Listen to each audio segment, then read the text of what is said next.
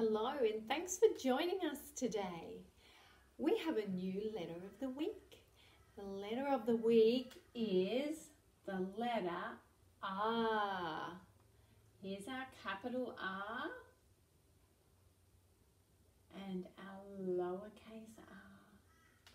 There are a lot of words that start with R. And as you work through all our um, resources this week, you'll find that we're going to focus on R is for rocket. And we've got lots of fun activities to do with space. But let's have a look at some other words that start with the letter R. R is for rock. Rock. Can you hear that R sound at the beginning of the word? Rock. Put him up there.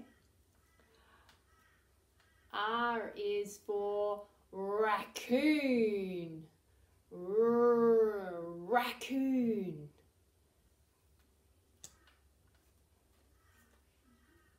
R is for read.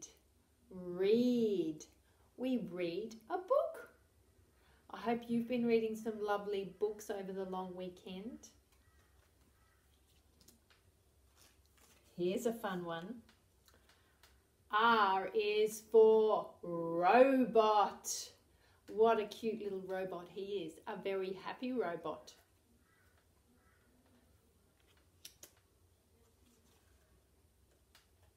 R is for rabbit. Cute bunny. Let's put him up here. Oh, here's a lovely one. You might have seen one of these in the sky. R is for rainbow. After it rains and the sun comes out, we see a rainbow.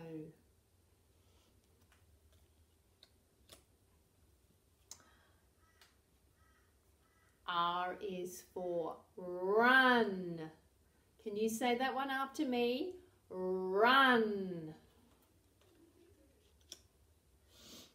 And here's a very important one and something you might help mum do at home, sorting out all the bottles and the paper. R is for recycle. Lots of words start with the letter R. We're going to have a look at how we write the letter R. Here's our capital letter R. Here we go. We're going to start at the top down. Back to the top. We go around to the straight line and then down to the bottom. Capital R. Let's try lowercase r. We're going to start at the top. Down we go. And then around at the top lowercase r.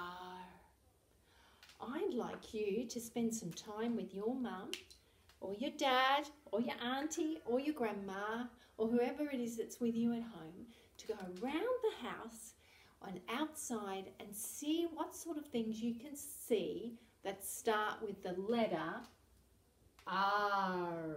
R. And if you've got time and you've got mum with you, maybe you'd like to take a photo of something that starts with the letter R you can post it on Dojo for me to see. I would love that. Have a wonderful day. Goodbye, everyone.